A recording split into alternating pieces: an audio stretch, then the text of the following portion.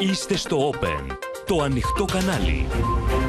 Κυρίες και κύριοι, καλησπέρα σας. Είμαι ο Νίκος Τραβελάκης και πάμε να δούμε μαζί τα νέα της ημέρας στο κεντρικό δελτίο ειδήσεων του Open που αρχίζει αμέσως τώρα. Συγκίνηση για το θάνατο του κορυφαίου συνθέτη Μίμη Πλέσα. Τα τελευταία του λόγια μιλούν στο Open. Νάνα Μούσκουρη και άλλοι κορυφαίοι καλλιτέχνες για τα τραγούδια του που αγάπησε όλη η Ελλάδα. Θύελα στην Κεντρική Επιτροπή του ΣΥΡΙΖΑ με αποχωρήσεις προσκύμενων στον Κασελάκη. Κατέθεσε υποψηφιότητα τελικά μέσω της Τζάκρη. Δεν υπάρχουν υποψήφιοι πρόεδροι δι' αντιπροσώπων, απαντάει η Γεροβασίλη. Θρήνος και οργής στα Ιεροσόλυμα στην κηδεία του 26χρονου Ιωνά που έπεσε νεκρός από τους τρομοκράτες της Χαμάς στο Τελαβίβ. Η συγκινητική εξομολόγηση του πατέρα του στην Αδαμαντία Λιόλιου.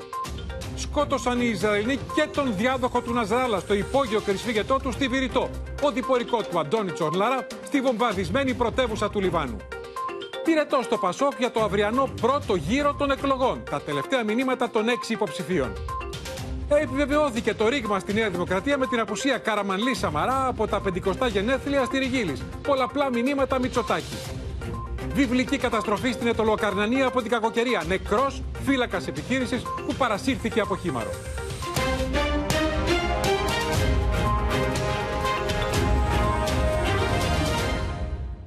Η Ελλάδα αποχαιρετά σήμερα, κυρίες και κύριοι, με βαθιά θλίψη τον κορυφαίο μουσικοσυνθέτη και πιανίστα, τον Μίμη Πλέσα, που έφυγε από τη ζωή μια εβδομάδα πριν γιορτάσει τα εκατοστά του γενέθλια. Έσβησε στην αγκαλιά της αγαπημένης του συζύγου, της Λουκίλας Καρέρ, με την ίδια να περιγράφει, θα την ακούσουμε, τις τελευταίες τους στιγμές, κάνοντας λόγο για ένα ευλογημένο τέλος. Ο Μίμης Πλέσας μας χάρισε εκατοντάδες τραγούδια μέσα από 104 ταινίες, 70 θεατρικές παραστάσεις και δεκάδες δίσκους, τραγούδια που μέχρι σήμερα σιγοτραγουδάμε, τραγούδια που αγαπήσαμε και σφράγισαν τη χρυσή μουσική διαδρομή του εδώ και 7 δεκαετίες. Σταμάτησαν του ρολογιού οι δείκτες. Έπεσε βαθιά σιωπή.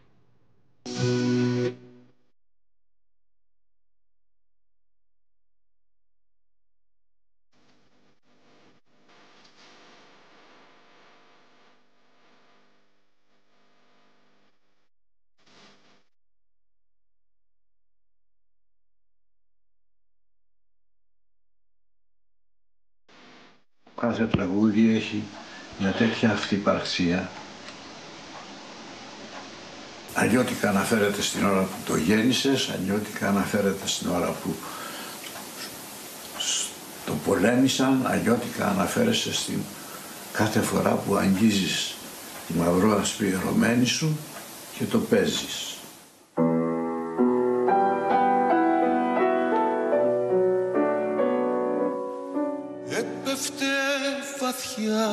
Σιωπή στο παλιό μας δασό.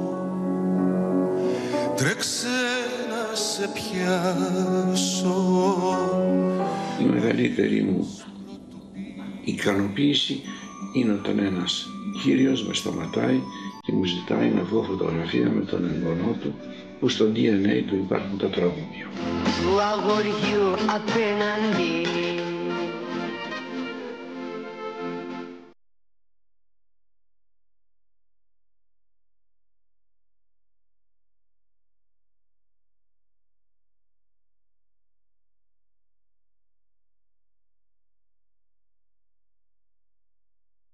έτοιμος να υπηρετήσω όσο καλύτερα μπορούσα το κάθε είδος που μου προτείνεται σαν ταινία με έναν τρόπο που να μην έρθει στιγμή να μεταγιώνει. Βρέχει φωτιά στη στράτα μου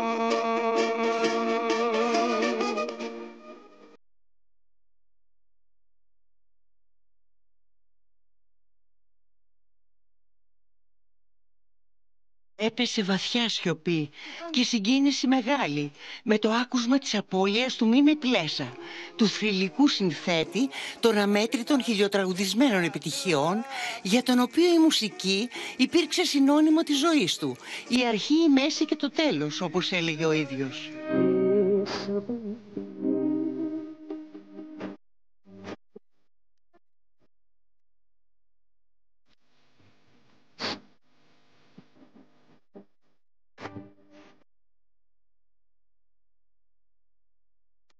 Μεγάλος συνθέτης, μαέστρος και πιανίστας που αφήνει πίσω του μια σημαντική παρακαταθήκη με το πλούσιο έργο του έφυγε από τη ζωή τα ξημερώματα λίγες ημέρες πριν συμπληρώσει τα 100 του χρόνια. Άφησε την τελευταία του πνοή στην αγκαλιά της αγαπημένης του συζύγου Λουκίλας Καρέρ.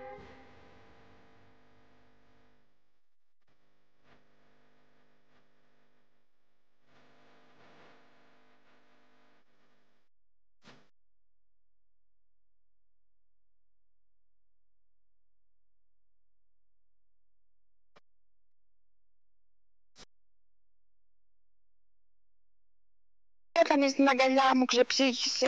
Χθε το βράδυ, τον χάιδευα, έλεγα ευχαριστώ για όσα ζήσαμε. Προσπαθούσα να του δώσω λίγο νερό, είχε σταματήσει να τρώει και να πίνει μόνο τρεις μέρες, τίποτα άλλο. Πιέ λίγο νερό να ξαναγυρίσουμε στη ζωή μας. Του είπα πόσο ωραία χρόνια πέρασε, ευχαριστώ για όλα, για το παιδί μας, για όλα, όλα, όλα. όλα. Άκουσα αυτά που ήθελα, έκανε ένα αχ και ξεψυχάει πάνω στου τοίχου μου. Οπότε ήταν ευλογημένο το τέλος. Λες και το, το ήξερα και του έκανα αυτή την ερωτική εξομολόγηση. Και πήγε στην αγκαλιά μου. Αυτό είναι ευλογία. Ούτε νοσοκομεία, ούτε γιατροί, ούτε πόνοι, τίποτα.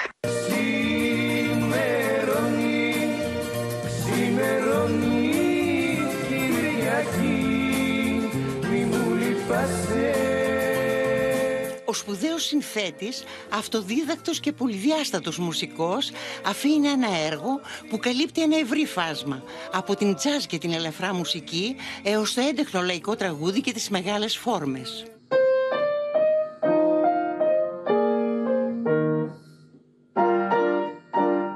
Έγραψε μουσική και τραγούδια για 104 ταινίες και 70 θεατρικές παραστάσεις, για τις οποίες έλαβε πολλές διακρίσεις, ενώ είχε διευθύνει μεγάλες ορχήστρες με έργα του σε ολόκληρο τον κόσμο. Συνθέσεις του έχουν ηχογραφηθεί στην Αμερική και σε πολλές ευρωπαϊκές χώρες. Η πρώτη μας νύχτα αργά θα κυλήσει εσύ το όνειρό μου και γύρω η σιωπή.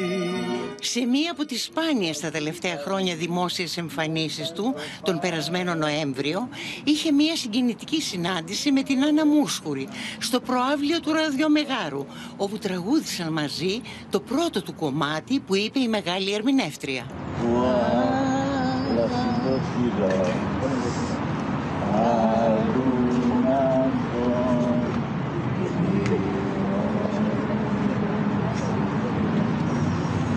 Για μένα είναι η αρχή που μπήκα στο τραγούδι. Την εκπομπή του ήταν για πρώτη φορά στη ζωή μου που τραγουδούσα και πάνω στη σκηνή στο ραδιόφωνο. Ο Μάνος Χαριντάκης με ανακάλυψε και εκείνος, αλλά με τον Πλέσσα ξεκίνησα. Και γι' αυτό για μένα είναι, είναι πάρα πολύ βαρύ.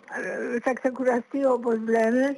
Αλλά πώς θα κάνεις να τραγουδήσουν τους αγγέλους τώρα.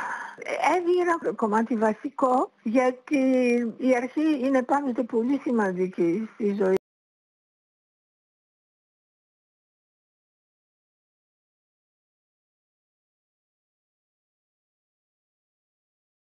Θέτης δημιούργησε μαζί με τον Λευτέρη Παπαδόπουλο τον θρηλυκό δρόμο, τον εμπορικότερο δίσκο όλων των εποχών της ελληνικής δισκογραφίας. Ο Μίμης Πλέσας ήταν ένα πολύ μεγάλο κεφάλαιο και είναι από τους λίγους συνθέτες που θα τον ακούμε για πάντα. Τα τραγούδια του Μίμη δεν θα τελειώσουν ποτέ. Θα περνάνε από γενιά σε γενιά και πάντοτε θα είναι σύγχρονα. Δεν έγινε ποτέ μόδα. Ήταν επί της ουσίας σπουδαίος συνθέτης. Και ποτέ δεν θα τελειώσουμε να ακούμε τα τραγούδια του. Ο Μίμης Πλέσας γεννήθηκε στην Αθήνα το 1924 και μεγάλωσε πλάι στο Εθνικό Αρχαιολογικό Μουσείο σε μια οικογένεια που αγαπούσε τη μουσική. Έτσι άρχισε να παίζει πιάνο από παιδί, ενώ στα 15 του ήταν ο πρώτος σολίστας ελαφράς μουσικής της ελληνικής ραδιοφωνίας. Σπούδασε στη Φυσικομαθηματική Σχολή του Πανεπιστημίου Αθηνών και στη συνέχεια έκανε το διδακτορικό του στη Βιολογική Χημεία στο Πανεπιστήμιο Κορνέλ των Ηνωμένων Πολιτειών. Το 1952 τιμήθηκε με το πρώτο βραβείο μουσικής του Πανεπιστημίου της Μινεσότα. Στην Αμερική πρωτοείδε έκθεση έργων του Πικάσο με ένα απρόοπτο περιστατικό όπως το είχε περιγράψει ο ίδιος.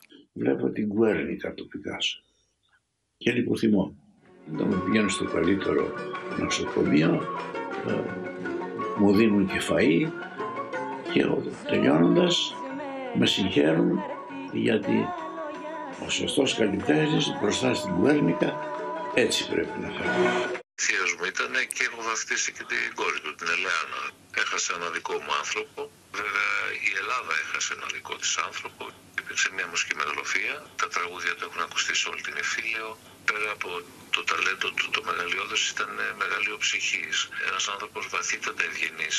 Μια προσωπικότητα που είναι από αυτές που λες μακάρι να γίνω κι εγώ έτσι. Ο Μίμης ήταν από τους ανθρώπους που είχε αποτέλεσμα γιατί και μόρφωση είχε και μεγάλο ταλέντο ήταν στη μουσική. Μαζί του έζησα σε πολλές περιπτώσεις και θέατρο και κινηματογράφο και δεν θα ξεχάσω την ευγενία του. Όταν καθόταν στο πιάνο, ζωντάνευε τις νότες. Πολυβραβευμένος στην Ελλάδα και το εξωτερικό, ο Μίμης Πλέσας άφησε ανεξίτηλη τη σφραγίδα του στον ελληνικό πολιτισμό, με αθάνατες επιτυχίες που αγαπήθηκαν από πολλές γενιές.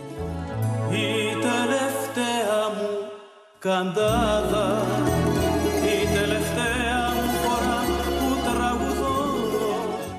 το είπε η μεγάλη Νάνα Μούσκουρη στη Μαρία Παπαδή θα κάνει τώρα τους αγγέλους να τραγουδήσουν. Ένας μεγάλος μουσικός, ένας γλυκός ευγενικός άνθρωπος τον είχα γνωρίσει που μέσα από τη μουσική του, μέσα από τα τραγούδια του εμείς θα συνεχίσουμε να τον ζούμε και να τον καμαρώνουμε και να τον αγαπάμε για πάντα. Λοιπόν, πάμε στο μέτωπο της κακοκαιρίας τώρα, κυρίες και κύριοι, που χτύπησε τελικά κακοκαιρία Κασάνδρα τη Δυτική Ελλάδα και δυστυχώς άφησε πίσω της ένα νεκρό. Έναν φύλακα αργοταξίου παρασύρθηκε από ορμητικά νερά χυμάρου έξω από το χωριό Στράτος στην Ετωλοακαρνανία. Βρέθηκε πριν από λίγο νεκρός. Η καταστροφή εκεί είναι βιβλική. Πάμε να δούμε το ρεπορτάζ αμέσως μετά ζωντανή σύνδεση με την απεσταλμένη του Open, την Κωνσταντίνα Τσίχλα.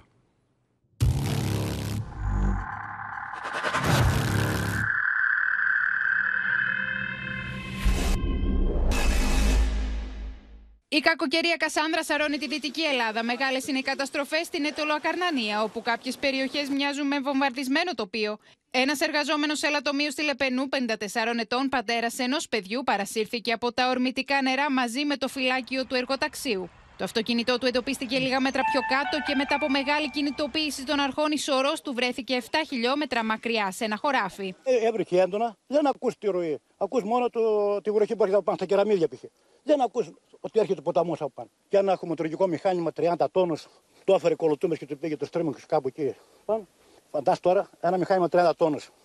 Θα αφήνεις ένα και εμένα που είναι σε 80-90 κιλά. Ο μένο του φύλακα τον είχαν ακριβώς εδώ μέσα στο ρέμα του κουβούκλειό του που δεν υπάρχει τώρα, το έχει πάρει και το ρέμα και αυτόν παρέα. Το αμάξι του είναι απέναντι. Του βρήκαν μέσα στις ελιές. Η σφοδρή βροχόπτωση τα ξημερώματα προκάλεσε την υπερχείληση του ρέματος στην περιοχή Στράτος. Φερτά υλικά και τόνοι λάσπης έκλεισαν δρόμους και προκάλεσαν ζημιές σε καλλιέργειες και εγκαταστάσεις. Ίσα που προλάβαμε και ανοίξαμε τις πόρτες και βγήκαμε έξω. Ήρθε πολύ απότομα το νερό, σαν τσουνάμι δηλαδή. Ε, το ρέμα δεν άντεξε, έσπασε. Πίσω μου βρίσκονται αυτοκίνητα που ο χήμαρος παρέσυρε έως και 15 μέτρα μακριά.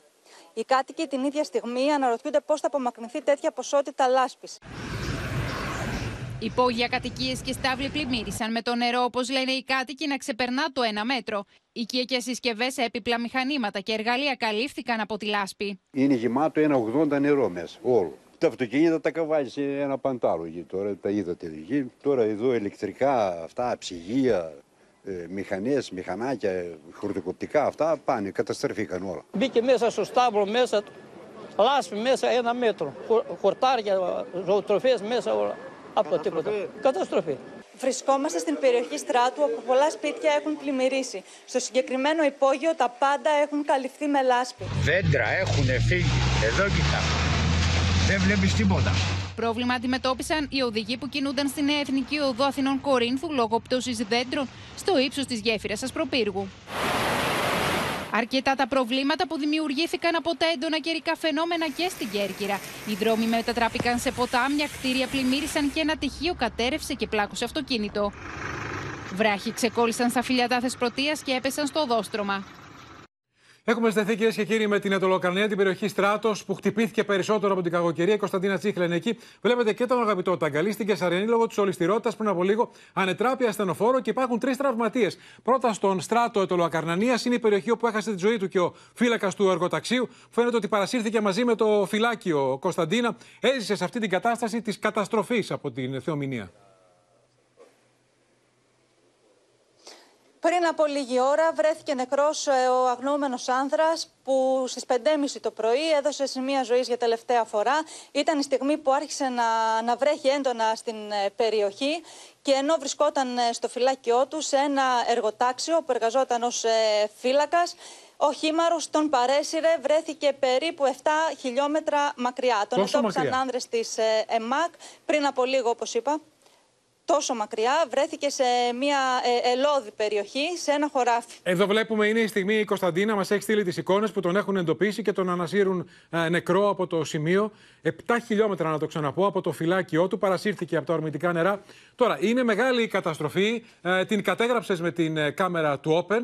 Ε, θυμίζει βομβαρδισμένο τοπίο, ο στράτος και τα γύρω χωριά.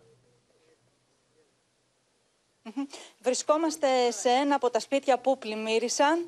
Συγκεκριμένα στο, στο σπίτι όπου βρισκόμαστε τα πάντα έχουν καλυφθεί με λάσπη, ενώ όπως βλέπουμε... Μπορείς να κινηθείς με την κάμερα, Κωνσταντίνα, να μας δείξεις την εικόνα. Στο ναι. μέρος του σπιτιού Πρόκειται για αυτοκίνητα τα οποία όπως ε, ε, βλέπετε παρασύρθηκαν έως και 15 μέτρα μακριά. Βρίσκονταν στον προστινή πλευρά του σπιτιού όπου βρισκόμαστε. Τα ορμητικά νερά τα έφτασαν μέχρι σε αυτό το σημείο. Κινδύνευσαν και άλλοι κάτοικοι από τα ορμητικά νερά, γιατί είδαμε σε κάποια σπίτια το νερό να φτάνει στα υπόγεια ακόμα και τα δύο μέτρα. Δεν είναι μόνο τα αυτοκίνητα, θέλω να πω, που παρασύρθηκαν. Βλέπουμε και εικόνες από drone. Είναι ολική Όπως καταστροφή. και στο συγκεκριμένο σπίτι είναι χαρακτηριστικό. Είναι χαρακτηριστικό να δείτε στο σπίτι όπου βρισκόμαστε το σημείο που έφτασαν τα νερά. Μαζί μου βρίσκεται και ο κύριος Χρήστος Γιαννάκης, του σπιτιού. Ναι, γεια σας.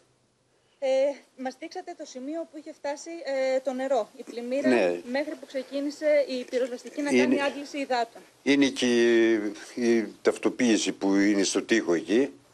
Είναι πάνω από 1,5 μέτρο, 1,70 και γέμισε όλο, όλο το σπίτι το υπόγειο εδώ που είχαμε τα πράγματά μας. Κινδύνευσαν οι άνθρωποι, Κωνσταντίνα, για ρώτησε τον άνθρωπο. Μη, μηχανάκια, χορτοκοπτικά. Κινδύνευσαν άνθρωποι άλλοι. Όχι, ευτυχώς είμαστε εντάξει, δεν έγινε τέτοιο θέμα. Αλλά μόνο ο πνιγμό. Μία καταστροφή που έχετε ξαναζήσει, όπως ε, μας αναφέρατε. Το, 20, το 22 πάλι. Πλημμυρίσαμε πάλι. Και το θέμα είναι ε, ο χήμαρος που έχουμε εδώ δίπλα είναι ακαθάριστος, πρέπει να καθαριστεί και γι' αυτό έγινε αυτή. Κωνσταντίνα, μου έλεγες νωρίτερα ότι αυτός ο χήμαρο που οι κάτοικοι καταγγέλνουν. Ότι... Που οι κάτοικοι καταγγέλνουν ότι δεν έχει καθαριστεί, δέχθηκε 10 φορές περισσότερο νερό από όσο αντέχει και είναι και μαζωμένος. Σωστά; Αυτό ετοιμαζόμουν να πω στον κύριο Γιαννάκη ότι ακούσαμε ότι το συγκεκριμένο ρέμα δέχθηκε 10 φορές πάνω το νερό που αντέχει. Ναι, αν ήταν όμως ε, καθαρισμένο Έτσι. Ε, ε, ε να και, και καθαρισμένο θα του χωρούν νερό αυτό. Θα ήταν διαφορετικά τα πράγματα. Έχουμε πρόβλημα στον Νίκο και βλέπουμε το μέγεθος της καταστροφής. Τόσα χρόνια. Εάν καθαριζόμενοι λίγο, με τη βοήθεια της κάμεράς μας βλέπουμε την κατάσταση που βρίσκεται το υπόγειο του συγκεκριμένου σπιτιού. Ηλεκτρικά, ηλεκτρικά πράγματα τώρα εδώ, ψυγεία, καταψύκτες, αυτά όλα, μηχανάκια, χορτοκοπτικά, τα πάντα. Ε, πού θα τα πάμε στο πρώτο, απάνω στο σαλόνι, δεν τα βάζουμε, στην αποθήκη. Και ούτε παράνομη είναι η αποθήκη μας. Πληρώνουμε τα πάντα. Καταστροφή για τους ανθρώπους. Κωνσταντίνα Τσίκλα, σε ευχαριστούμε. Ευχαριστούμε κουράγιο στους ε, κατοίκους εκεί της περιοχής που βρέθηκαν αντιμέτωποι με τα ακραία καιρικά φαινόμενα και βλέπουμε και την καταστροφή που βιώνουν. Πώς θα ξαναστήσουν το σπιτικό τους με το νερό να φτάνει στα δύο μέτρα και να έχουν καλυφθεί τα πάντα από τη λάσπη. Πάμε, σε ευχαριστούμε πολύ για την ενημέρωση. Πάμε στην Κεσαριανή, στον αγαπητό Ταγκαλή. Ε, λόγω ολιστηρότητας του δρόμου, λοιπόν, ανετράπει νωρίτερα ασθενοφόρο τρεις τραυματίες. Να δούμε τις εικόνες και μας εξηγείς πώς συνέβη αυτό, αγαπητέ. Ακριβώς, Νίκο, λίγο μετά τις 5 λοιπόν εδώ το, το απόγευμα, εδώ στη λεωφόρο Εθνικής Αντιστάσεως ε, στην Κεσαριανή, το ιδιωτικό ασθενοφόρο το οποίο είχε κατεύθυνση προς ε, την Αθήνα, σε αυτόν εδώ το δρόμο που βλέπετε με τη βοήθεια του Νίκου του Μοίρα. Λοιπόν, έχασε τον έλεγχο λόγω ληστηρότητας, είναι βρεγμένος ε, ο δρόμος και κατέληξε σε αυτό εδώ το χαντάκι που θα δείτε αυτή τη στιγμή. Να πούμε ότι μέσα στο ασθενοφόρο του ιδιωτικό ε, ήταν τέσσερα άτομα, δύο πληρώματος, ε, μία ηλικιωμένη ασθενής και ένας συνοδό. Χρειάστηκε η βοήθεια των πυροσβεστών πολιτών και των αστυνομικών για τον απεγκλωβισμό της γυναίκας. Ε, συνολικά τρεις τραυματίες, οι, οποίοι, οι οποίοι έχουν μεταφερθεί στο ΚΑΤ, ε, ενώ θα χρειαστεί και ειδικό γυρανοφόρο όχημα για να ρημουλκίσει το συγκεκριμένο στενοφόρο. Βλέπετε ε, Τώρα, μέσα πόσο στην μακριά έχει Αθήνα πέσει αυτή η από, το, εικόνα, ε. από το δρόμο Μέσα στην τουλάχιστον Αθήνα, 15 αγαπητέ. μέτρα. Ακριβώς μέσα στην Αθήνα. Είμαστε στην λεωφόρο Εθνικής Αντιστάσεως ε, σε αστικό ιστό. Ο δρόμος ε, γλιστράει. ληστηρός. Μας το έχουν πει κιόλας ε, οι άνθρωποι που βρίσκονται εδώ πέρα. Είναι ο ληστηρό αρκετά, ναι. Αγαπητές, σε ευχαριστούμε. Τι να πει κανείς. Τώρα μένουμε στο μέτωπο της κακοκαιρίας Κασάνδρα, κυρίες και κύριοι, που χτύπησε με σφοδρότητα τη Βοσνία. Εκεί είναι κρίνε τουλάχιστον 19. Θα δείτε εικόνες αποκάλυψης και στην Ταϊλάνδη από ακραία καιρικά φαινόμενα και πλημμύρες παρασύρθηκαν πάνω από 100 ελέφαντες. Ολόκληρες πόλεις και χωριά γύρω από το Σαράγεβο έχουν βυθιστεί στο νερό. Από τα σπίτια των κατοίκων φαίνονται μόνο οι σκεπές. Τα οχήματά τους επιπλέουν σε δρόμους που έχουν μετατραπεί σε ποτάμια. Pa izgledalo je strašno. Ja kad sam ustala iz spavaće sobe, malo je pa, prag bio dignut u spavaću. Ja kad sam uvodnik, voda je već e, do pragova i, i u dnevni soba. Πολλοί άνθρωποι έχουν χάσει τη ζωή τους και αρκετοί άλλοι αγνοούνται από τις πλημμύρες και τις κατολιστήσεις στη Βοσνία Ερζεγοβίνη μετά τις καταρακτώδεις βροχές που έπληξαν τη χώρα. Ο τραγικός απολογισμός της κακοκαιρίας Κασάνδρα εκτιμάται ότι αγγίζει τους 16 ή και τους 19 νεκρούς. Τα στοιχεία είναι ακόμη συγκεχημένα, καθώς υπολογίζεται το μέγεθος της καταστροφής. klizišta i poplave odnijela je do sada potvrđenih 13 života. Jučer se je spominjala brojka od 16 koju smo i mi iznosili, međutim dogodilo se nakon sabiranja podataka i nakon konsolidiranja, kažem, stanja na terenu, utvrđeno je da su tri tijela dva puta prijavljena od strane različitih službi, tako da je sada ta brojka korigirana na brojku 13. Η καταρακτώδης βροχόπτωση έχει προκαλέσει σκηνές χάους. Κτίρια, δρόμοι, υποδομές και αγροκτήματα έχουν καλυφθεί από τεράστιους όγκους νερού. Οι κάτοικοι περιγράφουν την καταστροφή, όσα παρέσυραν τα ορμητικά νερά, όσα έχουν χάσει. Međutim, odjednom je počelo razno- nositi šupu i garažu i auto i psa, sve je odnio, tako da rekli da i Κατακλυσμιαίε πλημμύρες άρρωσαν και ένα δημοφιλές καταφύγιο ελεφάντων στη βόρεια Ταϊλάνδη, σκοτώνοντας δύο ελέφαντες και αναγκάζοντας την εκένωση περίπου 100 άλλων μαζί με δεκάδες τουρίστες. Διασώστες προσπαθούν πάνω σε βάρκες να απεγκλωβίσουν τους ελέφαντες. Το νερό σχεδόν τους σκεπάζει. Άλλοι έχουν κολλήσει κάτω από δέντρα με τα τραύματά τους να είναι φανερά. Το προσωπικό του πάρκου τρέχει να διασώσει και άλλα ζώα που έχουν πληγεί. Είναι εικόνες που υπενθυμίζουν πως από τις ολέθριες συνέπειες της κακοκαιρίας δεν επηρεάζονται μόνο οι άνθρωποι. Επιστρέφουμε εδώ, κυρίες και κύριοι, στην καταιγίδα διαρκείας των ΣΥΡΙΖΑ και στη σημερινή επεισοδιακή συνεδρίαση της Κεντρικής Επιτροπής που σημαδεύτηκε με την αποχώρηση των υποστηρικτών του Στέφανου Κασελάκη. Είχε προηγηθεί η κατάθεση τελικά της υποψηφιότητάς του μέσω της Θεοδόρας Τζάκρη που κατήγγειλε τους 87 ότι με όσα κάνουν θέλουν να διαλύσουν το ΣΥΡΙΖΑ. Ανταπάντηση θα το δούμε η Όλγα Γεροβασίλη περνώντας την αντεπίθεση, λέγοντας ότι δεν κατατίθενται υποψηφιότητες δι' αντιπροσώπων και όλα αυτά ενώ φαίνεται ότι ο ΣΥΡΙΖΑ οδεύει σε ένα συνέδριο με Zoom, υβριδικό συνέδριο, με πρώην βουλευτή να ζητεί παραπομπή Κασελάκη στο πειθαρχικό για τη διαγραφή του. Έχουν αποφασίσει ποιοι θα είναι οι υποψήφοι, δηλώνοντας τα μέσα μαζικής ενημέρωσης. Και όχι στην Κεντρική Επιτροπή. Αυτές είναι οι διαδικασίες του ΣΥΡΙΖΑ. Εν μέσω μιας θυελώδους συνεδρίασης, ο Στέφανος Κασελάκης κατέθεσε δίδα της Θεοδόρας Τζάκρη και επισήμως την υποψηφιότητά του με δήλωση περιουσιακής κατάστασης και 87 υπογραφές υποστήριξης, όσες και τα μέλη της ομάδας των 87 που τον αμφισβήτησαν ανοιχτά, οδηγώντα σε μομφή εναντίον του. 87 όσοι και αυτοί που τον ανέτρεψαν. Ό,τι και να κάνουν δεν μπορούν να εμποδίσουν την κοινωνία να εκλέξει παμψηφί τον Στέφανο Κασελάκη, πρόεδρο του ΣΥΡΙΖΑ Προεδρική Συμμαχία από την πρώτη Κυριακή. Το σκηνικό πάντως θυμίζει πεδίο μάχης και όχι κόμμα που κινείται συντεταγμένα προς την ανάδειξη νέας ηγεσίας. Η πλευρά Κασελάκη αποχώρησε από τη συνεδρίαση καταγγέλλοντας τρικλοποδιές προς την υποψηφιότητά του, όταν έλαβαν το λόγο πρόσωπα που δηλώνουν ότι θα διεκδικήσουν την ηγεσία. Η διαδικασία που ακολουθήθηκε είναι απολύτως ευτελιστική. Μια απόδειξη του ευτελισμού είναι ότι δώσανε το λόγο σε υποψηφίους, οι οποίοι δεν ξέρουμε αν είναι υποψήφοι. Στον αντίποδα, ο Παύλος Πολάκης, που επισήμως ήταν υποψήφιος, ζήτησε να μιλήσουν όλοι πολιτικά και απέδωσε τα παράπονα σε ανυπαρξία πολιτικής πρότασης. μικροκακομυριές. Όποιος δεν μπορεί να διατυπώσει συγκεκριμένο όραμα. Πάει και καθίζει σαν τη σουχλίστρα γυναίκα, να το πω κάπως έτσι, Αυτή δηλαδή που ε, βάζει όλους πιουνιές, που συνέχεια κουτσομπολεύει και λέει Α, μου κάναν αυτό, μου κάναν εκείνο και τ' άλλο. Η Όλγα Γεροβασίλη ζήτησε να καταθέσει την υποψηφιότητά του ο ίδιος ο Στέφανος Κασελάκη, ενώ έστειλε σαφές μήνυμα ότι η πλειοψηφία δεν θα ανεχτεί προσπάθεια ανατροπής της έκπτωσής του, θέτοντας την αποδοχή της μομφής εκ μέρους του ως προπόθεση για να είναι υποψήφιος. Οι προποθέσει για την υποβολή υποψηφιότητας δεν είναι μόνο οι υπογραφές και τοποθενέσχε, αλλά τρεις. Είναι και ο σεβασμός στις καταστατικές αρχές, στις αξίες και στις συλλογικές αποφάσεις του κόμματος. Εγώ παίρνω το θετικό.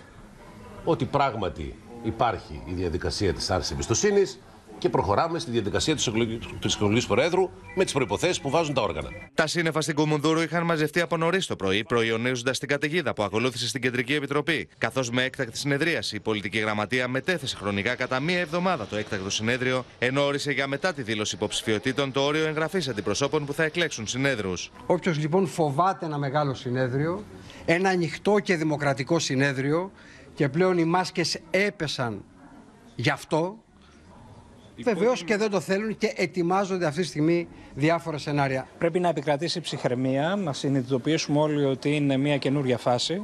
Πλέον έχουμε υποψήφιους προέδρους. Το λόγο υποψήφοι έλαβαν ο Απόστολος Γκλέτσος που κατέθεσε υποψηφιότητα μαζί με τις απαραίτητες υπογραφές αλλά και ο Νικόλας Φαραντούρης. Τα κόμματα έχουν όργανα που αποφασίζουν συλλογικά. Έχουν και μέλη που συμμετέχουν. Έχουν και ηγεσίες που αποφασίζουν και βάζουν το στίγμα τους. Τα κόμματα δεν είναι οι υπηρέτες των προέδρων τους. Το στίχημα είναι ε, την πρώτη Κυριακή να φέρουμε τον κόσμο στην κάλπη. Να πούμε ότι είμαστε εδώ. Στην Κεντρική Επιτροπή επανήλθε η τροπολογία που ζητά να μην εκλεγεί νέα Κεντρική Επιτροπή ταυτόχρονα με τον νέο πρόεδρο, αλλά με πολλές εκλογές στις 19 Ιανουαρίου. Και έχουμε ήδη συνδεθεί με τον Χρήστο Τσιγουρή, ο οποίος θα μας δώσει τα νεότερα από την επεισοδιακή συνεδρίαση της Κεντρικής Επιτροπής. Θα έλεγα, Χρήστο, βλέποντας το ρεπορτάζ, θα μας δώσει και εσύ το κλίμα, ότι δεν εμφανίζει ο ΣΥΡΙΖΑ πια α, φαινόμενα, συμπτώματα διάσπασης, αλλά διάλυσης. Είναι αλήθεια ότι το κλίμα σήμερα ήταν πάρα πολύ κακό. Υπήρξε μια θυελώδη συνεδρίαση και όπως και την προηγούμενη φορά, Νίκο, είχαμε και πάλι αποχώρηση των στελεχών που στηρίζουν το Στέφανο Κασελάκη. Θα έλεγε κανείς ότι από την πλευρά της νέας πλειοψηφίας ασκείται μια πάρα πολύ έντονη πίεση προς την πλευρά Κασελάκη. Αυτό έγινε σαφές όταν νωρίς το πρωί, με μια ευνηδιαστική συνεδρίαση, η πολιτική γραμματεία αποφάσισε αφενός να μεταθέσει για μία εβδομάδα μετά το συνέδριο, αλλά και την εγγραφή όσων θέλουν να γίνουν μέλη του ΣΥΡΙΖΑ για να εκλέξουν συνέδρους. Την πήγαν μία εβδομάδα μετά την επίσημη ε, δήλωση των Αυτό σημαίνει ότι όποιος ότι όποιος ήταν υποψήφιος, δηλαδή και ο Στέφανος Κασελάκης, δεν θα είχε σαφή εικόνα των συσχετισμών που δημιουργούνται. Και τώρα πάμε στο κρίσιμο, στο καυτό και στο ουσιαστικό θέμα που έχει να κάνει με το συνέδριο. Είδαμε όλες τις προηγούμενες ημέρες διάθεση των στελεχών που στηρίζουν τον κύριο Κασελάκη να αμφισβητήσουν στο συνέδριο την έκπτωσή του δια της υπερψήφισης τη μορφής. Ακούσαμε τον κύριο Πέτρο Παπά τις προηγούμενες ημέρες να, να λέει ότι το συνέδριο θα αποφασίσει για τα πάντα και θα κρίνει τη μορφή. Με τη σημερινή ευνηδιαστική απόφαση, λοιπόν, Τυπικά, επισήμως υπάρχει δυσκολία να βρεθεί αίθουσα. Επί της ουσίας όμως, όποιος και αν είναι ο λόγος, το αποτέλεσμα θα είναι, αν πάμε σε ένα υβριδικό συνέδριο, όπου θα συμμετέχουν 800 και άλλοι 3.000 ενδεχομένως μέσω Zoom, ότι δεν θα έχουμε την αρένα όπου θα μπορούσε η μια ή η άλλη πλευρά να καλέσει τους υποστηρικτές της διαβοής είτε να επικυρώσουν τη μομφή είτε να την ανατρέψουν. Είναι χαρακτηριστικό ότι αυτό ήταν πολύ σημαντικό στοιχείο της σύγκρουσης και του κλίματος που επικρατεί. Μπορούμε να δούμε τι είπε η κυρία Τζάκρη γι' αυτό. Με πολύ σκληρά λόγια, απευθυνόμενη στην πλειοψηφία. Τους είπε: Έχετε ξεφύγει. Λέτε ότι δεν υπάρχει αίθουσα που να χωράει τους συνέδρους και ούτε θέλετε να βρείτε γιατί θέλετε να βάλετε σιγαστήρα στη φωνή του λαού. Εσείς διαλύετε τα πάντα, εσείς καταπατάτε το καταστατικό, εσείς είστε η χειρότερη εκδοχή μιας μικρής και ανήμπορης αριστεράς που τη σήκωσε στην πλάτη του ο λαός και την πήγε στην εξουσία το 2015. Είναι πάρα πολύ σκυρά λόγια ναι. και βεβαίως το μάτι όλο, Νίκο, μετά από αυτό, είναι στους συσχετισμούς. Μιλάμε για πρέσα απέναντι στην πλευρά Κασελάκη, γιατί υπήρξαν και οι τροπολογίες που μπαίνουν στην απόφαση και καλούν τους πάντες να μην μιλούν για διαπλοκή, και να ε, μην μιλούν για διαφθορά ε, και με τοξικό λόγο. Πράγμα που σημαίνει ότι υπάρχει ανοιχτό το ενδεχόμενο, το υπενήχθηκε η κυρία Γεροβασίλη, στο μέλλον να δούμε και άλλα πειθαρχικά μέτρα. Πόσο μάλλον που ένα μέλος της Κεντρικής Επιτροπής, ο κύριος Μουμουλίδης, ζητά από την Επιτροπή ε, Δεοντολογίας ουσιαστικά να εξετάσει τη διαγραφή του κυρίου Κασελάκη. Α δούμε πώς το αιτήθηκε, αφού ανέφερε μια σειρά από λόγους, κατέληξε ότι ο Στέφανος Κασελάκης με λόγο εμπειριστικό λιδόρισε και επιχείρησε να αποδομήσει την ιστορική κυβερνητική διαδρομή του κόμματος, ταυτιζόμενος με την εικόνα που δημιουργούν τα συστημικά μέσα ενημέρωσης. Λειτουργήσε ως εκαθαριστής, τιμωρός και όχι ως εγγυητής της ενότητας. Για όλους αυτούς τους λόγους και πολλούς άλλους που μπορείτε να διαπιστώσετε στην έρευνα που μπορείτε να κάνετε, προσφεύγω στην Επιτροπή Διοντολογίας του κόμματός μας και ζητώ την παραπομπή του Στέφανου Κασελάκη ενώπιον σας. Καταλαβαίνει κανείς, Νίκο, ότι όπως και τις προηγούμενες μέρες είχαμε πει, ο δρόμος για την εκλογή νέας ηγεσίας στο ΣΥΡΙΖΑ είναι μακρύς και βέβαια η Κεντρική Επιτροπή θα παραμείνει ίδια. Καθώς επανήλθε η τροπολογία, υπερψηφίστηκε, η ηγεσία θα αλλάξει, η Κεντρική Επιτροπή θα μείνει ίδια μέχρι νεοτέρας. Και ο δρόμος και η επόμενη μέρα, Χρήστο, γιατί το μεγάλο ερώτημα με αυτά από όλα αυτά που είδαμε και βλέπουμε καθημερινά, πώς θα συνεπάρξουν ανεξάρτητα από το ποιος θα κερδίσει τις εκλογές και θα γίνει αρχηγός, πώς θα συνεπάρξει η πλευρά Κασελάκη με την πλευρά Τσίπρα και τους 87 και τον Παύλο Πολάκη. Γίνεται όλο και πιο δύσκολο. Να σε ευχαριστήσουμε. Θα επιστρέψουμε σε λίγο, κυρίε και κύριοι, στο πολιτικό σκηνικό, γιατί έχουμε και εκλογές αύριο για, την, για ηγεσία στο Πασόκ, αλλά και τα μηνύματα Μητσοτάκη στα 50 γενέθλια της Νέας Δημοκρατίας από τον Καραμανλή και Σαμαρά. Πάμε όμως πρώτα, κυρίες και κύριοι, στα Ιεροσόλυμα, στην παλιά πόλη. Εκεί όπου νωρίτερα έγινε η κηδεία μέσα σε κλίμα οργής του 26χρονου Ιωνά του Έλληνα που έπεσε νεκρός από τα πυρά των τρομοκρατών της Χαμάς στο τραμ του Τελαβίβ. Θα δείτε τον πατέρα του να μιλά στην απεσταλμένη του Όπεν, την Αδαμαντία Λιόλιου, και να στέλνει ένα μήνυμα, ένα ηχηρό μήνυμα, ότι αυτός ο θάνατος ας είναι μια αφορμή να σταλεί το μήνυμα ότι δεν πάει άλλο. Η Ιερά Μονή Ισιών στην Ιερουσαλήμ είναι κατάμεστη από νέους και ανθρώπους μεγαλύτερης ηλικίας. Όλοι ντυμένοι στα μαύρα και δακρυσμένοι που αποχαιρετούν τον 26χρονο Ιωνά Καρούση. Σε ένα βαρύ και συγκινησιακά φορτισμένο κλίμα, φίλοι και συγγενείς του Ιωνά, που έχασε τη ζωή τους στην τρομοκρατική επίθεση στη Γιάφα του Τελαβίβ, προσέρχονται εδώ στην Ιερά Μονή της Ιών για να του πούν το τελευταίο αντίο. Οι γονείς του είναι απαρηγόρητοι. Στην εξόδιο ακολουθία προεξάρχει ο Πατριάρχης Ιεροσολύμων Θεόφιλος. Οι γονείς του συντετριμένοι.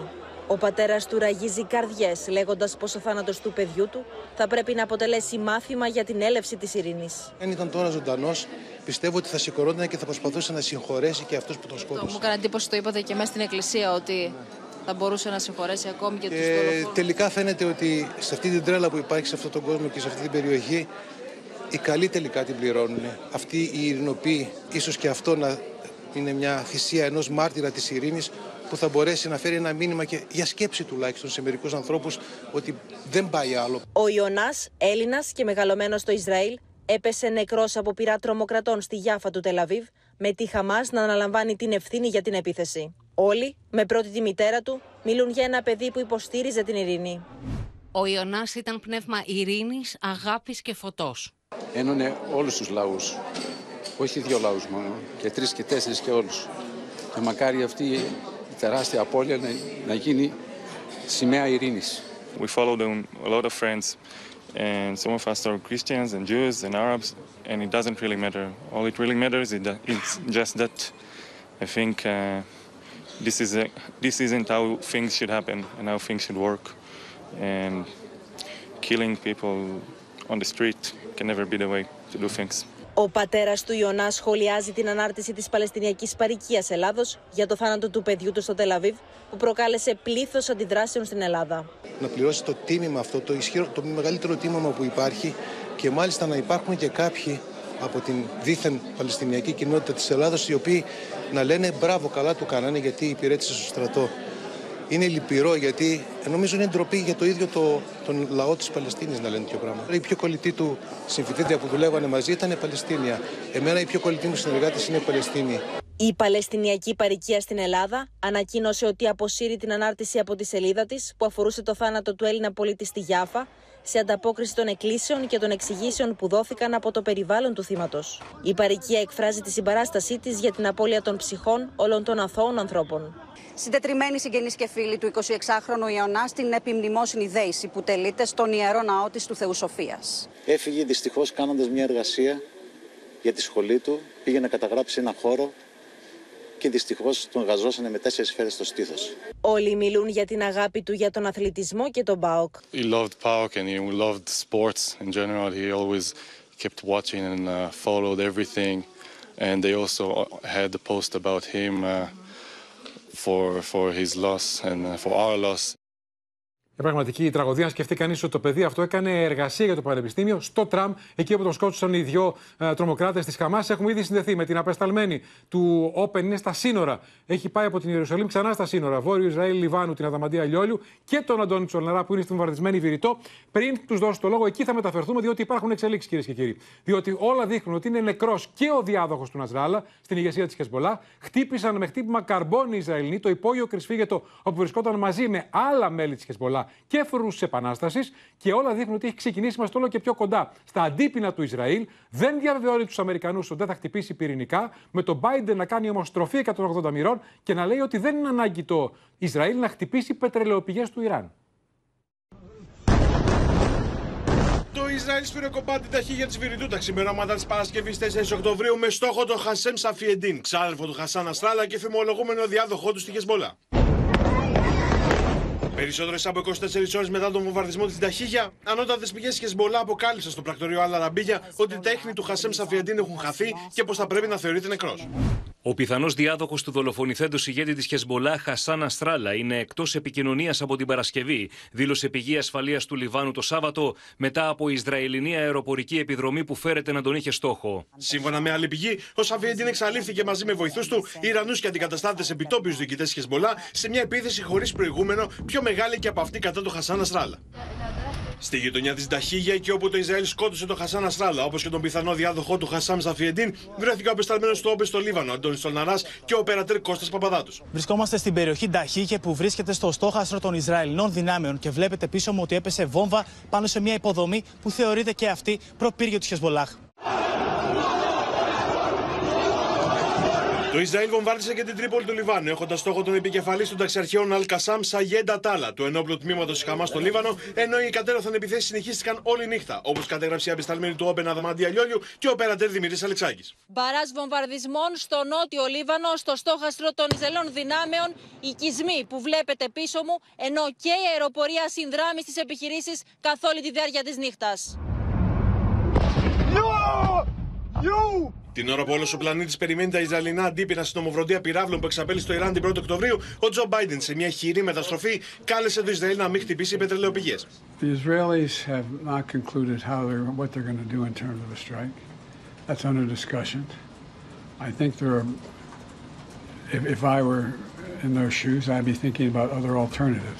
είμαι θα. Αξιωματικοί του Λευκού Οίκου διέρευσαν πως ο Τζο Μπάιντεν ετοιμάζει σχέδιο για την πολιτική εξαθλίωση της Χεσμολά εφόσον το Ισραήλ την εξοντώσει στρατιωτικά. Το σχέδιο Biden προβλέπει εκλογή Προέδρου και νέας κυβέρνησης στο Λίβανο με όσο το δυνατόν ελάχιστη παρουσία της οργάνωσης. Κάτι που το Ιράν ίσως θα πρέπει να δεχθεί για να διατηρήσει το πυρηνικό του πρόγραμμα. Την ίδια ώρα, ο Ντόναλντ Τραμπ καλεί ανοιχτά σε χτύπημα στα πυρηνικά του Ιράν.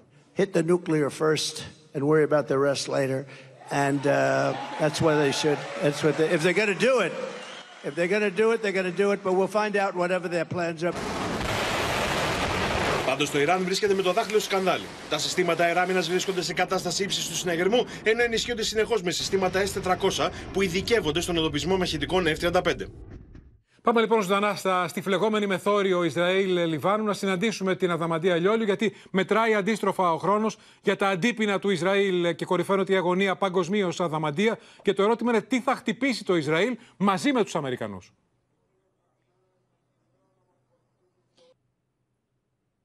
βρίσκονται σε συναγερμό. Υπάρχουν Έχουμε πρόβλημα στη σύνδεσή μας με την Αδαμαντία. Είναι σε σημείο που αυτή την ώρα ε, ανταλλάσσουν πυρά Ισραηλινοί και Χεσμολά. Αδαμαντία, μπορούμε να σε ακούσουμε τώρα; Δεν ξέρω αν με ακούτε. Ναι, ναι, σε ακούμε. Συνέχισε, βεβαίως. Δεν ξέρω αν με ακούτε. Πολύ Μήπως καλά σε προσπαθώ ακούμε. να- Καλύτερα το ακουστικό μου. Σε Ε, ακούμε. Ωραία, λοιπόν. Ε, εν αναμονή λοιπόν αυτής της επίθεσης απάντηση του Ισραήλ στο Ιράν, η τελευταία εξέλιξη που έχουμε και πληροφορίε ακόμη και κοινωνικής δικτύωσης είναι ότι ενδεχομένως θα γίνει και σήμερα και θέτουν ακόμη Α. και χρονικό ορίζοντα στις 8 η ώρα. Βέβαια, μένει όλα αυτά να διευκρινιστούν. Ήδη κυκλοφορεί αυτή η πληροφορία, μπορεί να βρίσκεται και στο προπαγάνδας.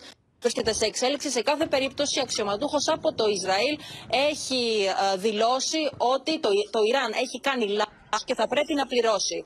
Οι πιθανοί στόχοι είναι οι πυρηνικές εγκαταστάσεις του Ιράν, όπως και στρατιωτικές βάσεις, καθώς και και πλατφόρμες πετρελαίου. Ε, νομίζω ότι είναι ξεκάθαρο και από την Ισραηλινή πλευρά ότι θέλουν να πετύχουν ένα πλήγμα το οποίο θα έχει κάποιο αποτέλεσμα, θα επιφέρει συνέπειες στο Ιράν και επομένως ε, ε, λένε ότι θα πρέπει να είναι μεγαλύτερα τα αντίπεινα από αυτά που είχαν συμβεί στην απάντηση της Ισραήλ που είχε γίνει στο προηγούμενο χτύπημα του Ιράν του Απριλίου. Τώρα, Νίκο, θα πρέπει να σου πω ότι εμείς βρισκόμαστε στο χωριό Ντέιρ Αλάσαντ. Βρίσκεται στο βόρειο Ισραήλ, δέχτηκε ένα μπαράζ ρουκετών νωρίτερα τη Χεσμολά. Είμαστε πάνω σε ένα σπίτι. Στο, στο μπαλκόνι του σπιτιού βλέπετε με τη βοήθεια του Δημήτρη Αλεξάκη ότι είχαμε απευθείας χτύπημα πυράβλου. Έχει ανοίξει ο κρατήρας και έχουν προκληθεί εκτεταμένες ζημιές στο συγκεκριμένο σπίτι. Ζούσε μια πενταμελής οικογένεια. Ευτυχώς όλοι κατάφεραν να μετακινηθούν. Αυτό είναι το βίντεο που βλέπουμε τώρα που μας έστειλες μας έστειλες και εσύ και ο Δημήτρης Αλεξάκης νωρίτερα. Νέα Δαμαντία, συνέχισε. Από το απευθείας χτύπημα είμαστε ακριβώς στο μπαλκόνι του συγκεκριμένου ε, σπιτιού με τις καταστροφές. Η πληροφορία είναι ότι τρία άτομα είναι, είναι ακόμη στο νοσοκομείο με ελαφρά τραύματα. Ευτυχώς δεν πρινήσαμε απώλειες. Είναι εκτεταμένα τα μπαράζ των ρουκετών από την Χεσμολά τα τελευταία 24 ώρα. Το συγκεκριμένο χτύπημα εδώ που και βρισκόμαστε έγινε στις 2 το μεσημέρι και είναι περισσότερες από 100 οι ρουκέτες που έχει στείλει η Χεσμολά από το Λίβανο σήμερα στις περιοχές του Βορείου Ισραήλ με τις ειρήνε να ηχούν συνεχώς. Ε, και βέβαια όλα αυτά γίνονται ως αντίπεινα, όπως ανακοινώνεται, στις επιθέσεις του Ισραήλ στο νότιο Λίβανο, καθώς ε, είχαμε ε, και σκληρέ μάχε. Τρει είναι οι Ισραηλινοί νεκροί στρατιώτες. Είναι ο τελευταίος απολογισμός από τις μάχες αυτές.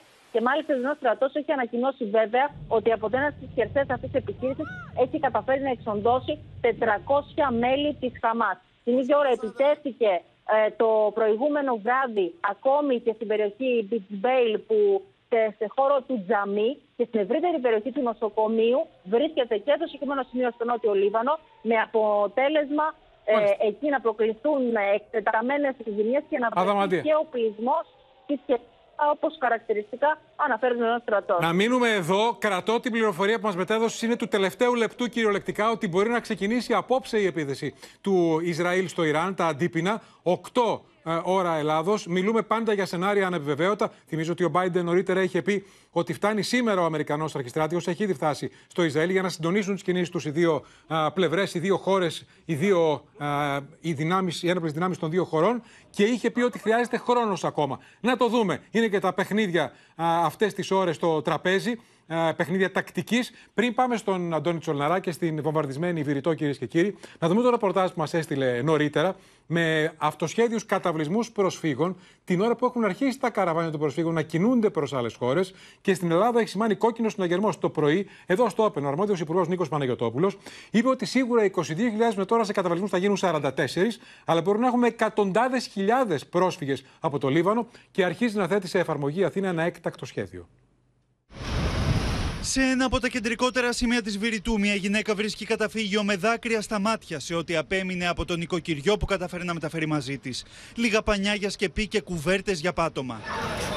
Λίγα χιλιόμετρα μακριά, εκεί που πριν από λίγο καιρό έπαιζαν μαθητές, τώρα πάνω στρατιώτες επιτηρούν μια πρόχειρη δομή φιλοξενίας προσφύγων σε σχολείο της Βηρητού.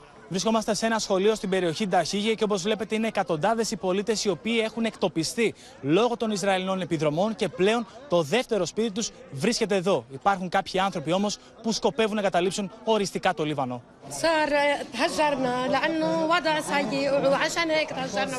Ο Αντώνης Τσολναράς και ο οπερατέρ του Open Κώστας Παπαδάτος καταγράφουν εικόνες γροθιάς στο στομάχι. Μικρά παιδιά κρατούν στην αγκαλιά τους ένα υπερπολίτιμο για αυτά μπουκάλι νερού.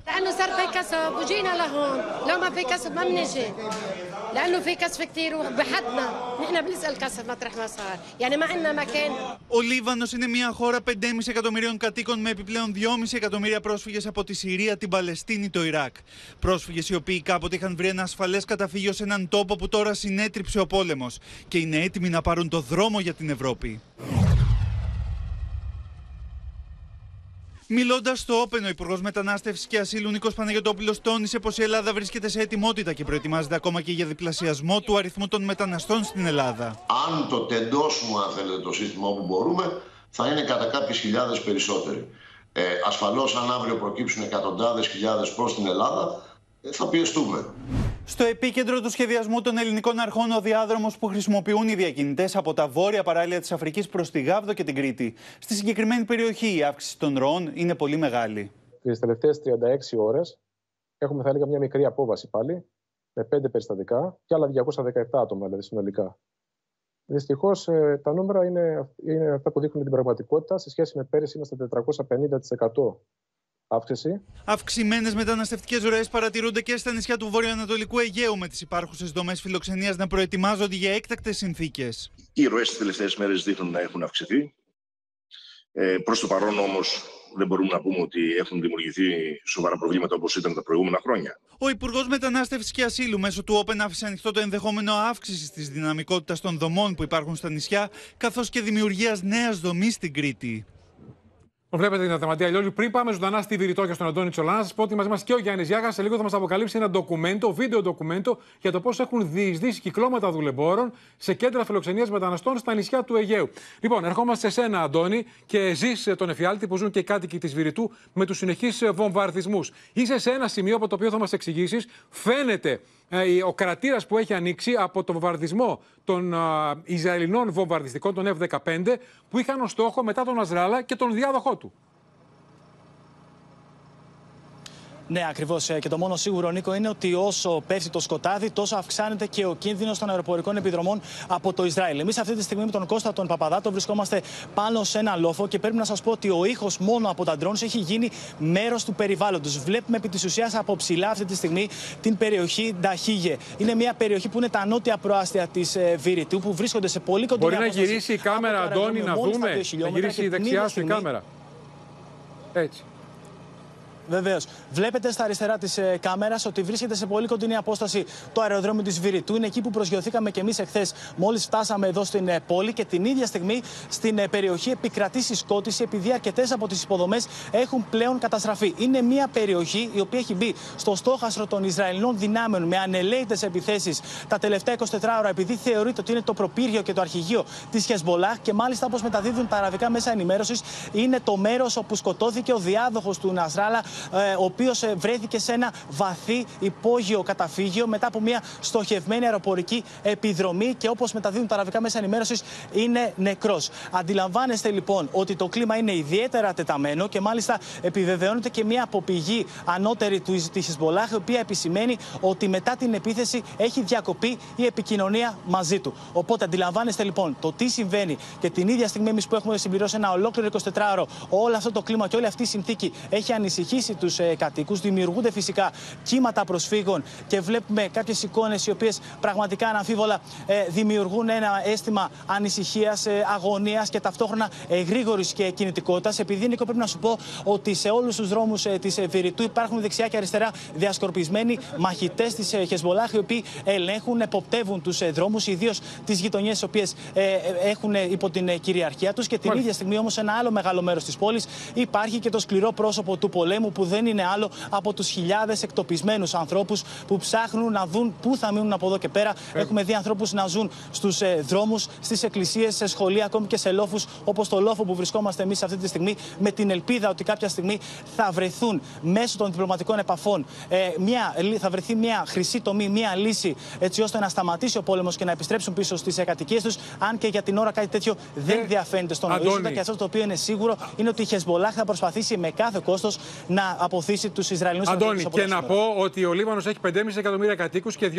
εκατομμύρια πρόσφυγες από τη Συρία. Που ξαναζούν σε άλλη χώρα το ίδιο δράμα και θέλουν να γυρίσουν πίσω στη Συρία τώρα.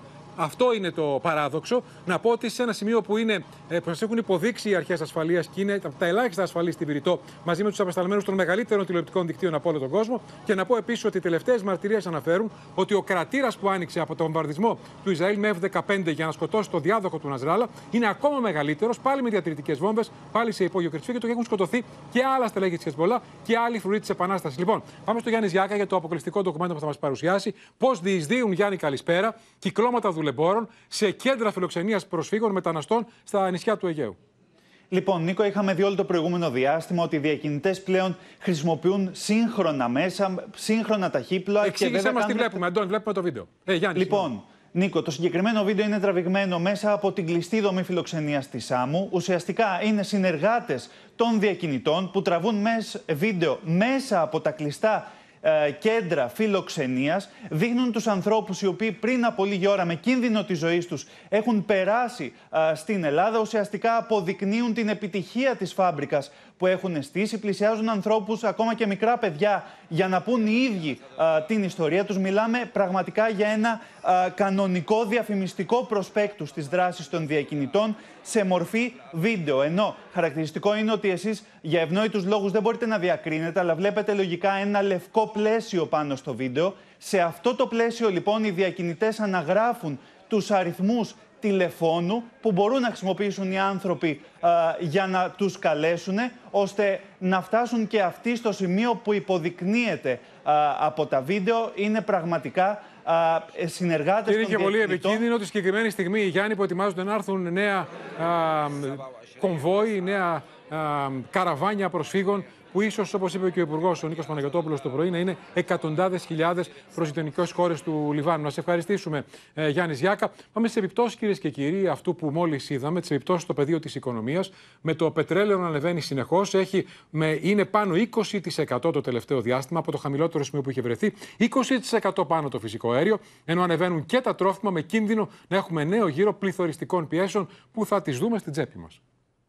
Πλώρη για τα 80 και τα 100 δολάρια το βαρέλι έχει βάλει το πετρέλαιο που έκλεισε την περασμένη εβδομάδα με την μεγαλύτερη εβδομαδιαία αύξηση διεθνών τιμών από τις αρχές του 2023. If uh, we are going into an escalation phase and if we are going into an all-out war, then uh, the oil markets can really be on a tailspin upwards. So $80 per barrel is definitely something we can see the next few days. Από το Ιράν προέρχεται το 4% της παγκόσμιας παραγωγής πετρελαίου, δηλαδή 3,99 εκατομμύρια βαρέλια την ημέρα, τα οποία πολλούνται σε συντριπτική πλειοψηφία στην Κίνα. Και το ερώτημα είναι αν η Σαουδική Αραβία, τα Ηνωμένα Αραβικά Εμμυράτα ή οι Ηνωμένες Πολιτείες θα αντικαταστήσουν την απώλεια παραγωγής σε περίπτωση που το Ισραήλ καταστρέψει πετρελαϊκές εγκαταστάσεις του Ιράν. Would the White House be able to appeal to countries with spare capacity, countries like Saudi Arabia, to put more barrels on the market? And what would the Iranians do in retaliation? Στη χώρα μας πάντως φαίνεται πως ήδη ξεκίνησαν οι επιπτώσεις με το πετρέλαιο θέρμανσης να ανοίγει ακριβότερα με τα προχθεσινά δεδομένα, δηλαδή πριν από 4-5 ημερών, θα σας έλεγα ότι θα ήταν στο 1,17. Τώρα, αν με ρωτήσετε, θα σας πω θα είναι στο 1 ευρώ και 20 λεπτά. Βεβαίως, πέρσι ήταν 1,40. Άρα είμαστε χαμηλότερα κατά, κατά πολύ. Και ενώ το θρίλερ με το πετρέλαιο συνεχίζεται στη Μέση Ανατολή, τα στοιχεία του ΟΗΕ έδειξαν για το Σεπτέμβριο τη μεγαλύτερη αύξηση εδώ και 18 μήνες στις διεθνείς τιμές των τροφίμων. Έφτασαν φρούτα όπως τα μήλα εποχής που είναι αυτή την εποχή στα 2,85 ευρώ το κιλό και συζητάμε για την παγκόσμια αγορά. Η διεθνή τιμή της ζάχαρης αυξήθηκε 10,4%, των λαχανικών και των ελαίων 4,6%, των γαλακτοκομικών 3,8% και των δημητριακών 3%. Όλοι πάντως παραδέχονται πως μια νέα φωτιά στο πετρέλαιο λόγω του πολέμου στη Μέση Ανατολή μπορεί να αναζωπυρώσει τον πληθωρισμό. Επιστρέφουμε εδώ κυρίες και κύριοι στο πολιτικό σκηνικό. Οι προβολή πέφτουν από νωρίς αύριο το πρωί στο Πασόκ. Πρώτος γύρος, εκλογή αρχηγού. Πάμε να δούμε τα τελευταία μηνύματα των έξι υποψηφίων και αμέσως μετά ζωντανή σύνδεση με όλα τα νεότερα από την Κάτια Φωτιάδου. Μπροστά από την Παλαιά Βουλή, ο Νίκος Ανδρουλάκης έστειλε σήμα επιστροφής του Πασόκ στο πολιτικό προσκήνιο, ενώ κλείνοντας την κεντρική του ομιλία, έσφιξε στην αγκαλιά του τον γιο του Μαρίνο. Το Πασόκ επέστρεψε. Και εμείς που κάναμε τα πρώτα βήματα επιστροφής, εμείς μπορούμε να κάνουμε το μεγάλο άλμα. Αν δεν είχε γίνει όλη αυτή η δουλειά που κάναμε όλοι μαζί, εμείς ο απλός κόσμος του Πασόκ, κάποιοι δεν θα μιλούσαν σήμερα για πρωθυπουργήσιμους. Μαζί ξεκινήσαμε Μαζί θα προχωρήσουμε, μαζί θα νικήσουμε τη Νέα Δημοκρατία. Να απογειώσουμε το Πασόκ. Στην Πάτρα, έχοντας το πλευρό του τον Νίκο Παπανδρέου, ο Παύλος Γερουλάνος περιέγραψε το όραμά του για την αναγέννηση του κινήματος. Το Πασόκ είναι εδώ, ότι το Πασόκ είναι έτοιμο να ξαναμιλήσει στα όνειρα κάθε Ελληνίδα και κάθε Έλληνα. Πάμε αυτό το Σαββατοκύριακο. Πάμε να τους δώσουμε ξανά ελπίδα, γιατί μόνο έτσι, μόνο έτσι θα ξαναδειχθεί η Ελλάδα στα πόδια της. Πάμε λοιπόν να πέσει δεξιά και να φέρουμε το Πασόκ που αγαπήσαμε πάλι στην εξουσία. Είναι μεγάλη χαρά και η τιμή που μου κάνετε σήμερα. Την Λάρισα επέλεξε για την τελευταία του ομιλία στην κούσα διαδοχής ο Χαρισδούκα και έστειλε το δικό του μήνυμα για την εσωκομματική αναμέτρηση. Ήταν Οκτώβρης πέρσι όταν κάναμε μια πολύ μεγάλη ανατροπή στην Αθήνα και κάναμε μια πολύ μεγάλη ρογμή στο σύστημα. Και είναι Οκτώβρης τώρα που πρέπει να κάνουμε μια πολύ μεγάλη ανατροπή για την πολύ μεγάλη αλλαγή. Για τη νέα αλλαγή. Εδώ από τη Λάρισα ξεκινάει η νέα αλλαγή. Πάμε δυνατά. Πάμε ενωτικά. Πάμε τώρα και θα νικήσουμε, να ξέρετε. Με περιοδία στην Δυτική Αττική ολοκλήρωσε την προεκλογική της εκστρατεία η Άννα Διαμαντοπούλου. Σας καλώ αυτή την Κυριακή να ψηφίσετε για την επόμενη πρόεδρο του Πασόκ και να ξεκινήσουμε μαζί ένα νέο ταξίδι για το μεγάλο, δημιουργικό και ελκυστικό Πασόκ. Μεγαλώνουμε το Πασόκ, δυναμώνουμε την κοινωνία.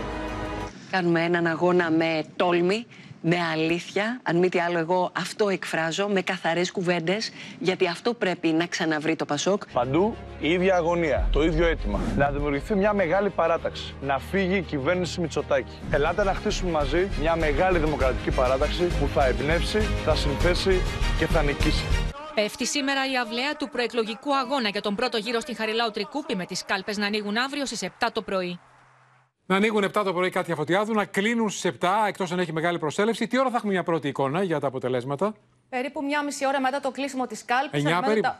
Γύρω, αν κλείσουν 8 η ώρα, γύρω στις 9.30 το βράδυ, θα έχουμε τα πρώτα ασφαλή αποτελέσματα. Με στόχο τη μέγιστη δυνατή συμμετοχή να ξεπεραστεί ο πύχης των 300.000 ψηφοφόρων. Να θυμίσω το 2021 είχαν ψηφίσει 270.000 μέλη και φίλοι του κόμματος. Η Χαριλάου Τρικούπη δηλώνει έτοιμη για την αυριανή κρίσιμη εκλογική αναμέτρηση. Οι κάλπες λοιπόν ανοίγουν στις 7 το πρωί και κλείνουν στις 7 το βράδυ. Όπου παρατηρηθεί μαζική προσέλευση, θα υπάρξει παράταση της εκλογικής διαδικασίας, όπως ακριβώς είχε γίνει και το 2021. Το αντίτιμο είναι 3 ευρώ. Είτε είσαι μέλος είτε φίλος του κόμματος, καταβάλλεται μόνο στον πρώτο γύρο και όχι στο δεύτερο γύρο και δεν μπορεί να καταβληθεί με POS. Είναι σημαντική πληροφορία αυτή. Μετρητά. Ενώ ψηφίζουν μόνο στο δεύτερο γύρο όσοι έχουν ψηφίσει στον πρώτο γύρο. Έχουν δικαίωμα ψήφου όσοι είναι άνω των 16 χρόνων, Έλληνες πολίτες είτε αλλοδαποί που ζουν νόμιμα και μόνιμα στη χώρα μας. Όποιος θέλει και ενδιαφέρεται να πού θα ψηφίσει, ποιο το πιο κοντινό του εκλογικό τμήμα μπορεί να μπει στην ιστοσελίδα του Πασό και εκεί να, βρει, να μάθει πού ψηφίζει.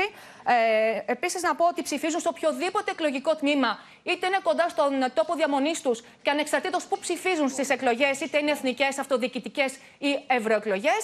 Και έτσι αύριο αναμένεται στις 7 το πρωί να ανοίξουν οι κάλπες και να έχουμε τα πρώτα ασφαλή αποτελέσματα μια μισή ώρα μετά το κλείσιμο της ε, κάλπης. 9, 9.30 θα ξεκινήσει και η έκτακτη εκπομπή α, του Open με την Εύα Αντωνοπούλου, την Έλλη Στάι, τον Δημήτρη Μαύρο, τον επικεφαλής της MRB, στελέχη του Πασό, καναλιτές. Θα παρακολουθήσουμε λεπτό προς λεπτό τη διαδικασία. Θα δούμε τα πρώτα αποτελέσματα, τι πρώτε αντιδράσεις και τα πρώτα μηνύματα. Θα δούμε και ποιοι θα είναι οι μονομάχοι του δεύτερου γύρου για την ηγεσία στο Πασό. Και από το Πασό πάμε στη Νέα Δημοκρατία, κυρίες και κύριοι. Εκεί όπου επιβεβαιώθηκε το ρήγμα με την απουσία και του Κώστα Καραμαλή και του Αντώνη Σαμαρά από το χθεσινοβραδινό street party στη Ριγίλης, εκεί όπου ξεκίνησε πριν από 50 χρόνια η Νέα Δημοκρατία, με τον Κυριάκο Μητσοτάκη να στέλνει πολλαπλά μηνύματα με αποδέκτες και τους δύο πρώην Προέδρους.